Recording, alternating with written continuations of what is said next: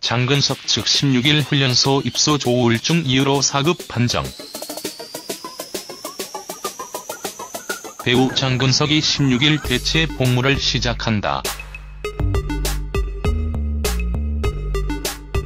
소속사 트리제이 컴퍼니는 장근석은 병무청 신체검사에서 양극성 장애 사유로 4급 병역 판정을 받아 16일 입수 후 병역의 의무를 이행하게 됐다. 이에 따라 사회복무요원으로 2년간 대체 복무할 예정이다. 당일 혼잡 등 많은 분들께 누를 끼치지 않을까 염려되어 이를 알리지 않고 조용히 병역 의무를 이행하려 했으나 지난 27년간 곁에서 끌어주었던 팬들에게 직접 소식을 전하고 싶다는 본인 의견을 존중해 홈페이지에 직접 인사 글을 올린 후 공식 입장을 전하느라 늦어지게 된 점 양해 바란다고 밝혔다.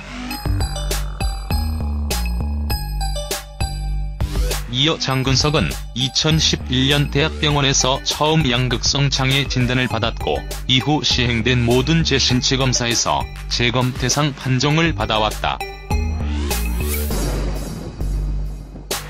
이 과정에 있어 배우 측 입대 연기 요청은 없었으며 병무청의 재검 요구를 성실히 이행했다. 그리고 최근 4급 사회복무요원 소집 대상으로 최종 병역 처분을 받았다. 신체 등급 사유는 개인정보에 해당합니다.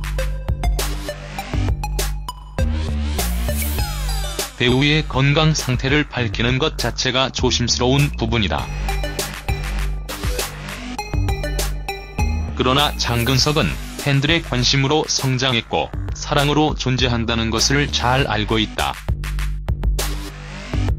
따라서 지극히 개인적인 문제라 할지라도 대중에게 명확히 공개하는 게 책임이며 도리라고 생각했다고 전했다.